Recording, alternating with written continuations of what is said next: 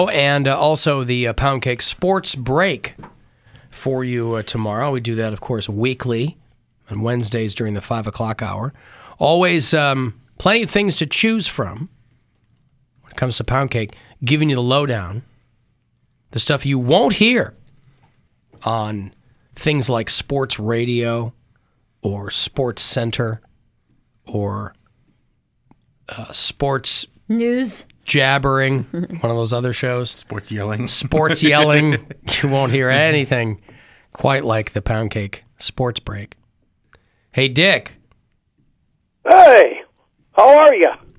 I was walking down the hall this morning Yeah. talking to Charlie, and he was holding Charlie. he's holding it from Rover's show, and he was holding uh, an envelope in his hand, and it just was covered in scrawl. And he goes, "Is this for you?" I said, "No, that's." I said, "Well, no, way didn't know." I said, "That's from Dick from Dayton," and I said, "And it's it's a he'll send cards uh, sometimes uh, to us, sometimes to you guys." I said, "They're completely illegible, so it's hard to tell uh, who's for who." But uh, uh, he mentioned that uh, you call them every morning, Dick.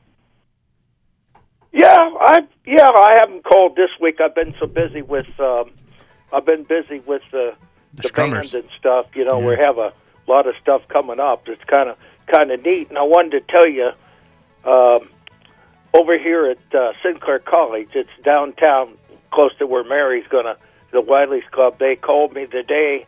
They got a class for me from May, I think it's uh May 10th to July. It's called uh, uh, appreciation of music, and what you do is uh, you learn, you know, you learn the various types like classical, bluegrass, and uh, what they do is each other week you bring an instrument in, and if you do good, you can join the band. That's kind of neat, you know. Now, will you be rushing a fraternity at Sinclair College? No, it's um, just a branch of Sinclair downtown. Nobody wants to go down there. There's nothing down there anymore. You know, they moved the iHeart Radio. I don't know where it even is now. You know, uh, they they moved it, but um, this class should be interesting. And uh, yeah, it's uh, it's kind of neat. Oh, another thing too. I I got my lucky.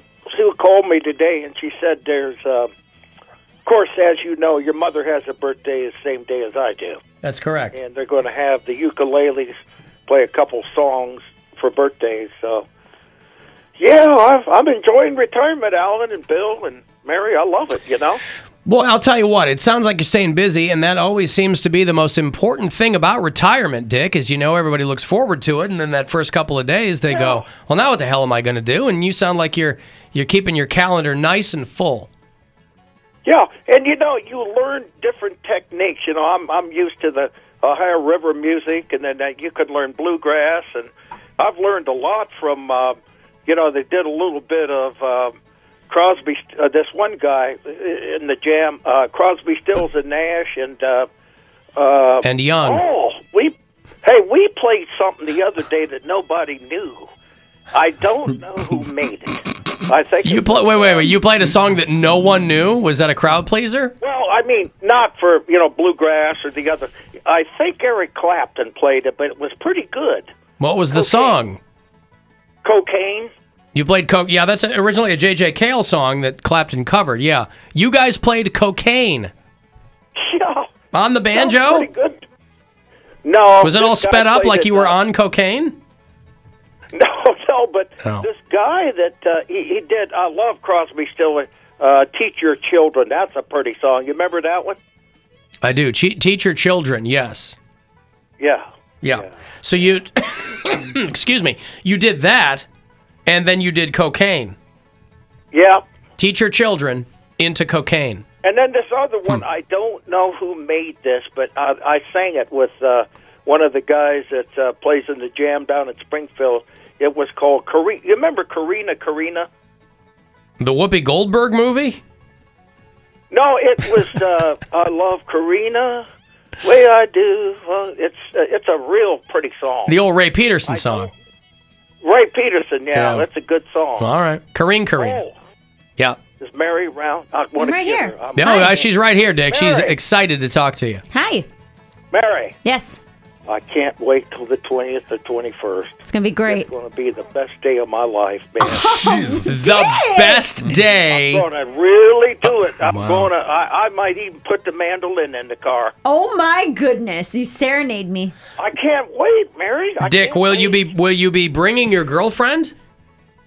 No, no. Why? I was going to bring a friend of mine one to come. Uh, his name is Dave from Dayton, but I told him he stopped by last night. Now you can't bring a dog down there because you'll get kicked out. Yeah, most comedy you clubs go. frown on live animals walking around, even in Dayton. Yeah, he uh, he's quite a. Uh, he gets me. Uh, oh, what is it? CDs from. Uh, I'm trying to think. Uh, The past. I knew the history of uh, Stanley. Uh, was it Ralph Stanley and? Uh, oh, I can't think of the other guy. Earl Scruggs. Yeah, sure.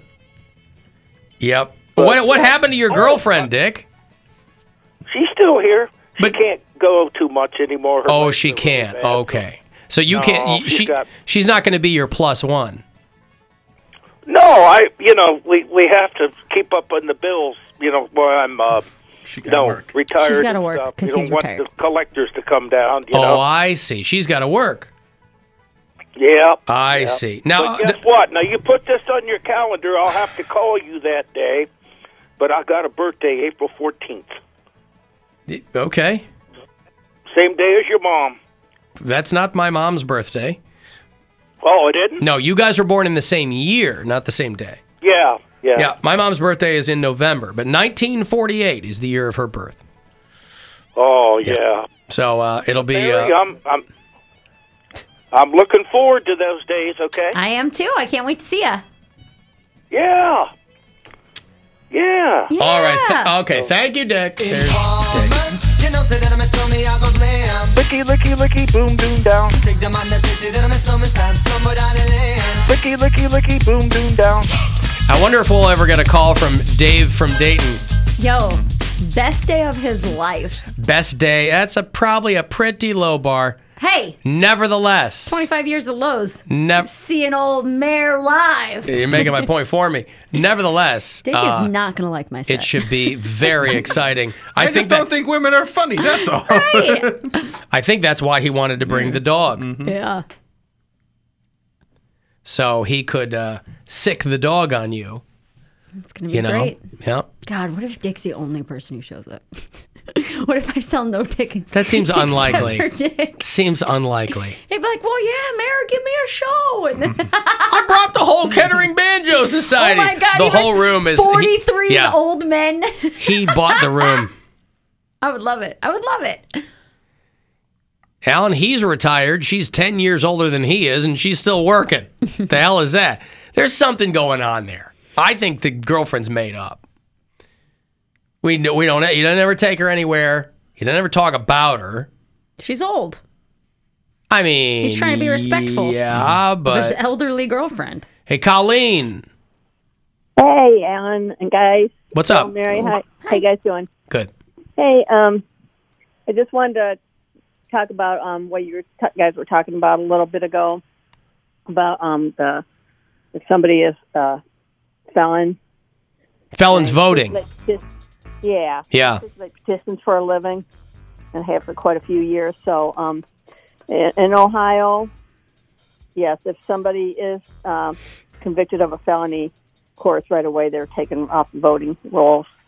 But um, once they've served their time, they they can um, they have to re-register. I can you know register them to vote, and the state of Ohio does not take away their right to vote for life. Now in Florida, I believe they do, unless they've changed that. yeah, I think recently, within the last year or so, I think that they did reinstitute, but but it was it wasn't without a fight because I think there's this notion that because um, I, I think especially states that have Republican legislatures, they don't want felons voting because they assume uh, that the uh, that the felon community is largely people of color. And so they've worked overtime to make sure that those people can't. But there's no constitutional reason for them to be barred from voting if they've served their time. Right. Yeah. Exactly. Okay, cool. Thank you, Colleen. All right. Thank you. All right, there's Colleen. Was she working the voting rights biz? Is that what she said? Something She like gets that. people registered to vote. She's just one of those people with a clipboard at Edgewater, walk around like, "Are you registered to vote?" Hey, get them registered to vote. Why don't they have motor voter here? What is that? You get your license and you're automatically registered to vote. Oh, that's cool. That's how we did it in Illinois. Well, Ohio You know what I was thinking about doesn't today? work that well. What were you thinking about today? I and I this may be something that a comedian has said in the past. It's not an original thought, but what we really should. Uh, you should have to take a driver's test more than once. Some people do. They don't. You get your driver's license and then you just renew it every year, and you never have to be Mm-hmm. Well, tested no, again. old people have to take. There are some. when No. Huh? there was a probably no joke. This tiny had to be in her 90s, 90 year old woman in the car today. I was in pulling into a parking lot. There was a cop parked. So okay, so imagine it: two rows of cars, right, parked. On one row of cars was a parked cop car. All right, so he's blocking the way. So now there's only really one way to go down this row. I am pulling around the corner. So now it's parked cars, parked cop car, me coming around the corner, and then more parked cars. So there's nowhere to go. This old woman pulls out of her parking spot and then comes at both me and the cop car, the parked cop car, and me coming around the corner. And I was like, Where are you going to go, lady? Why didn't you pull out and go the other way? What are the circumstances that require you to take an eye test? I don't think you, have to. do I've, ta- I've taken them as an adult. The eye test is At the- at when the you DMV. renew. I've taken the eye test. You too. what? The eye test happens when you renew. I don't So have, I have to old- so- renew mine this year. So That's if an why I know. old person fails their eye test, they're not going to renew their license. Is But my if, point. but if their eyes are fine and their body doesn't work, they never have to take a driving test again. They don't ever test your turn signals if you're driving Oh, I driving see what you safely. mean, like rules of the road They type stuff. never Yeah. test that ever again. Sure, you have to be able to see. Yeah. But if your eyesight's perfect and you pull some BS like this lady did, I didn't know that. I guess I never thought about it. So there's no there's no even if you have circumstance. glasses, yeah. There's no circumstance under which you need like a refresher course. No, or, really? never. Hmm. And it aggravated me because I'm like, and again, I do stupid things. I'm not, I will admit, I'm not the best driver. But it's like for you to take one driver's test when you're 16 and then you never have to take another one again, that seems crazy to me. And by the way, you just have to pass the driver's test. Right. You don't have to pass with flying colors. Yeah, C plus. Yeah. But I was just so frustrated with this lady because then she's looking at me like, back up, get out of my way. I'm like, bro, you could have turned and there would be no problem here. But Why'd now you you're- call her bro? Because she's backing up traffic and Call her an old aggravated her. crone. You old crone? Yeah. Her windows were up. Wait, wasn't it the cop's fault for blocking being parked? Yeah, but there's nothing we can do as a cop. I'm just saying. It would have been very it. easy for her to not turn into a row of parked cars, and How she would chose she not have to. known? Did- You could see that it was there's no way to get out. yes, it was my car, two rows of par- parked cars, a parked cop car, and then me coming around the corner, and she still chose to come at us instead of going the other way. Here's another thing that may have been said by a comedian. How come you park on a driveway? Oh, God. Drive on a parkway. I didn't want to be accused of stealing someone's material because I think that's been out there before. yeah, I've They heard. talk about renewing your driver's test or whatever, but I was just very upset with her.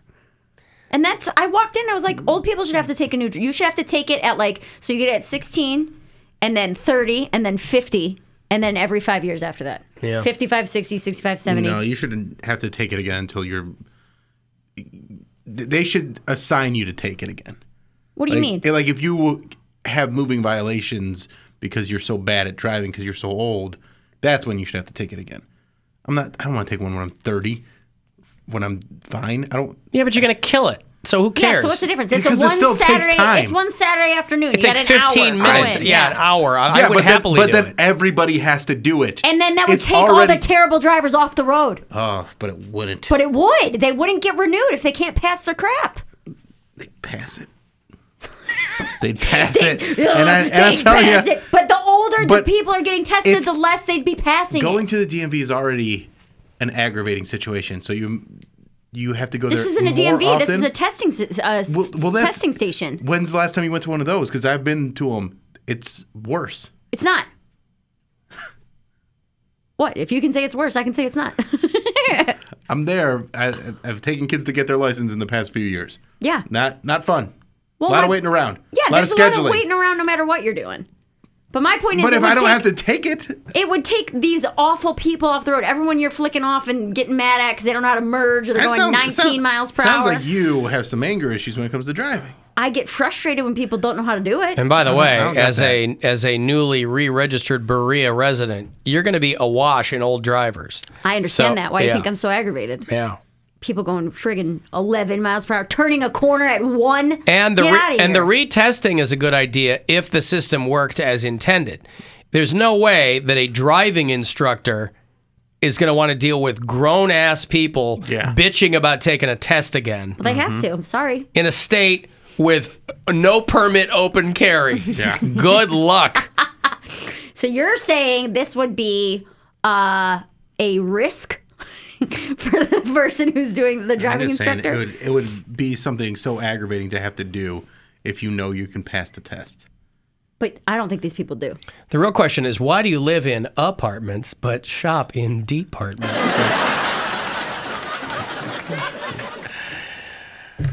I've never gotten a sufficient answer to that question. So, uh, hey, Carlos in Miami, what's going on? Hey, hello everybody. How are you? Listen, uh, all right, all right. Down here, um, they allowed felons to vote, and then somebody said, "Wait a minute!" While they were in jail, they had fines, and now they're going after the people that until they pay all the fines while they were in jail, they can't vote. Oh, is that And what it is? Back, you know, yeah, yeah. So the Republicans kind of found a loophole, which is ironic because somebody in Central Florida was in jail and was running for a seat in the government, and they had no problem with that guy. Right. Sure. Yeah, Rules for thee, like not for me. Addict. Yeah, All right. Well, as long as you're keeping Yeah. your nose clean, Carlos, I'm not worried. yeah. Hey, you want to talk about old people driving? Everybody that's Florida, oh God. driving in another country where they got no uh, roads, no signs. Um, I mean, I drive ten miles home and it takes me an hour. Right. Holy cow. So, yeah. All right. Keep it between the ditches, Carlos. People. Huh? I said keep it between the ditches. Yeah, I do. All right. All right. Thanks, pal. Bye. All right. There's Carlos, who's down in Miami, trying to get home safely on his one hour, 10 mile ride. Were you hungry when you? I was on my way to breakfast, yes. You're on oh, so you were already uh, you were already in, in a bad mood. That's annoying, though. Life is full. Life is nothing but annoyances. I get that. Life is all waiting around, killing time, get and it. nonstop annoyances. I'm usually pretty good with it, but I just feel like there could be uh, a system in place to prevent these people from being on the road. Hmm. And honestly, by this system, I probably wouldn't have a license. I've had a lot of violations. I had tw- uh, Well, they have that in place 11 where, points at one point. Where you, and then didn't you have to take the classes? I had to take a remedial Yeah. class to get two points knocked off. Drive downtown on a Saturday morning drunk. Why do you think I'm going to parallel park? I got 11 points on my license. Alan, I'm with Mary. I work 911 in Medina, and all the old people crashes that come in. That's it. Listen, I'm for it, but Maybe not. at 70 you have to retest or something. I, I think don't yes. know. When when you're up there, I'd say 65 plus or something like that, 70 around there, but not 30 and 35 or 40, whatever. No, you I said saying. I said at 16, at 30, at 50, and then every five years after I 50. say just make it 65 plus. if you can qualify for AARP, you have to retest. Oh no, they're knocking those back. You start getting those at about. Th- you're going to start getting those in the Yeah. mail. Alan, an 87 year old woman turned left in front of my dad. He was on a motorcycle, sent him flying over her car. Her excuse was he only had one headlight, so she didn't know it was a vehicle. It was her eighth accident in two years, and when she went to get her car from the tow company, she wrecked her rental car by running over all the mailboxes at the tow yard. These are the people And she's still driving. Right. They're Yeah, just so- driving down the wrong away. side of the Yeah. highway. Yeah. Well, they're putting alert systems on. I just saw this on a lot of the highways in Ohio now. They're going to put uh, alert systems where if it you enter the highway going the wrong direction, it will like flash and like alert authorities like immediately so they can stop things from happening. Good. Yeah. Okay, uh, we've got it all figured out. So I'm going to take a break, and if you want to get the last word in, uh, shoot me a text three five one nine two, and we'll be back. It's the Alan Cox Show. Every